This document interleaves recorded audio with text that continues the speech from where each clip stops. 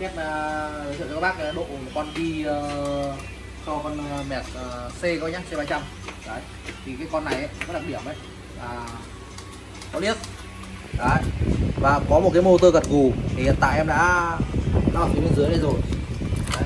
cái điểm khó của mẹt cái dòng mẹt của cái sọt ấy đó là, là có liếc các bác nhá. Đấy nên là các bác uh, nên lựa chọn một đơn vị có uy tín để có thể giữ để liếc.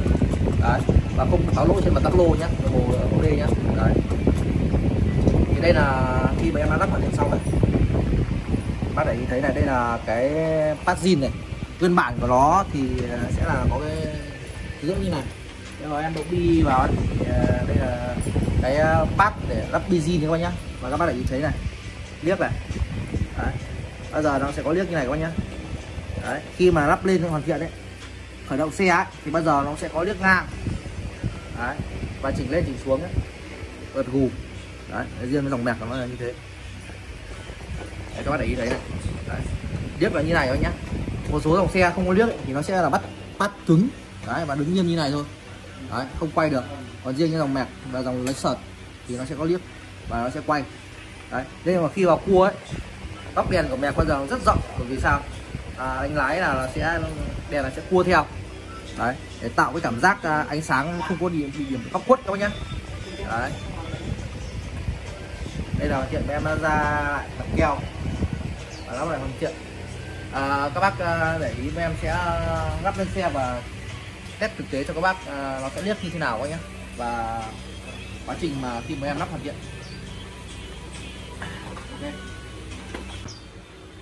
đây các bác nhá em đã lắp hoàn thiện à, để trước khi à, mà hoàn thiện thi công ấy, mà em sẽ lắp lại để test tính năng gật gù và tính năng liếc của con mẹc các bác nhá.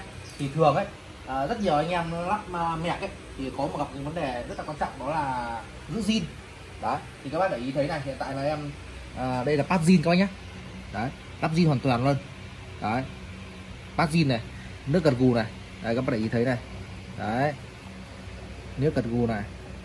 Rắc gần như là zin 100% luôn các bạn. Đấy pad zin. Can bớt để xử lý lỗi nhá. Đấy lỗi pha nhá. Bên kia cũng vậy, các bạn để ý thế này. Ok này. Giống nhau và đây nhá. Em ơi! Đặt pha cho anh này. Bật đèn cho em, cho anh. Đây, thấy rồi. Rồi biết này. Đấy, gật gù này. Đấy. Ánh sáng này đấy đây đang hoàn thiện tốt, cao thấp đấy là do chương trình của anh nhá. Đấy. Đây đây. Đấy các bác để ý thấy này. Đấy là khi mà khởi động xe á cái dòng xe có liếc ấy là nó sẽ đập trên là liếc và gật gù các bác nhá. Đấy. Ok. Xin chào các bác. Thì uh, em đã hoàn thiện xong uh, cho con chiếc uh, mẹc C300 mình các nhé, nhá. Thì đây là khi mà bên em hoàn thiện này các bác để ý thấy là hoàn toàn giống như zin 100% các bác nhé các bác để ý hai bên này. Đây là tính năng nó lắp đặt hoàn thiện và phát zin giữ nguyên liếc đấy, và giữ nguyên gật gù của xe mẹ có nhá. Đấy nếu các bác mà có tìm cái đơn vị uy tín như bên em thì là cablus.vn xuyên nâng cấp lắp đặt độ đèn xe hơi màn hình âm thanh ánh sáng có nhá. Đấy. À, em ơi bật đèn lên cho anh. Các bác ờ, cùng trải nghiệm nhé, gần đây em đây em bật đèn đi em. Đấy nó liếc à đấy, các bác để ý thấy nó liếc này. Ok liếc hai bên nhá. Và gật gù lên xuống nhá. Đấy. Để các bác ờ, để ý thấy bảng này. Em sẽ bật lại quay bảng này các bác để ý thấy là nó gật gù và liếc như nào các bác nhá. Em bật lại cho anh đi.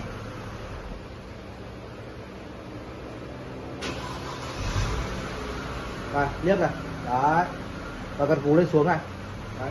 khi các bác vào cua nhá thì ờ, đánh lái bên nào thì nó sẽ lướt về bên đấy. Đấy riêng cái dòng mẹc nó như vậy.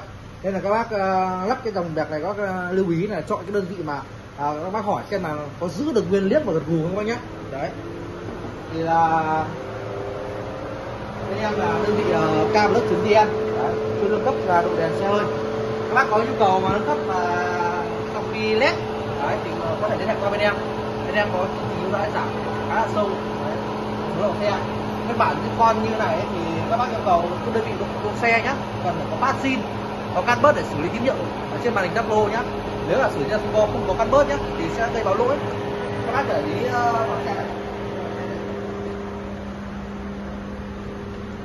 một số bên ấy nếu mà khi độ xong ấy mà nó sẽ nổi báo live stadium nhá nếu là sử dụng báo lỗi. Đấy một số các đơn vị mà không lắp chuyên nghiệp ấy thì nó sẽ gây báo lỗi ở đây này mà tablo này nên là các bác chọn đơn vị uy tín để lắp đặt và để cảnh báo cái việc là khi lắp xong nó có báo lỗi ở đây thì các bác cũng yêu cầu các đơn vị lắp đặt xử lý nhé hoàn thiện cho nó xong. Đấy. thì hiện tại là cái bộ này bên em lắp là, là bộ ờ, uh, đất 6 ProRes đấy các bác nhìn thấy pha này. Đấy tâm này các bác nhá. Đấy, cực kỳ nét luôn. Đấy. và về ngoại quan bên ngoài về bóng bi thì gần như là zin một một trăm phần trăm luôn. Đấy, như nguyên bản zin luôn các bác nhá. Đấy nhưng mà với cường độ ánh sáng thì gần như là phải gấp gần như là 5 lần. Đấy, ánh sáng của có đèn pha lên cho anh tí. Đấy đây là pha này các bác khi có di chuyển. Pha nhá. Tâm pha rất là to nhá. Đấy. con này red hoàn thiện thì có dòng xe bình thường thì là rơi vào 8 triệu. Nhưng mà xe mẹ thì à, các bác hỗ trợ em thêm cả cái ờ, uh, pass cho xe nữa. Đấy là hoàn thiện con xe đẹp quá nhé ok. Nếu các bác có nhu cầu thì liên hệ qua camlet.vn của bên em bên em ờ, chuyên cung cấp ờ, lắp đặt các cái màn hình xe hơi, âm thanh và ánh sáng nhất là quan trọng là vấn đề độ đèn. Tạo rất là chuyên nghiệp các nhá. Vâng, em chào các bác